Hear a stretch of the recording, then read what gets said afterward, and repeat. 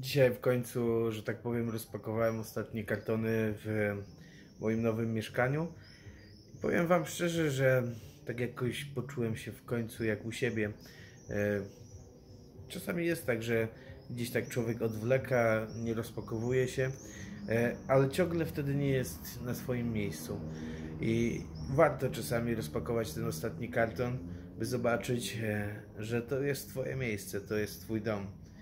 I warto w swoim życiu też rozpakować ostatni karton, to znaczy e, nie czekać z czymś, nie zwlekać z jakąś decyzją, ale po prostu e, zrobić to, co już dawno powinno się zrobić i po prostu cieszyć się tym. Dobrego.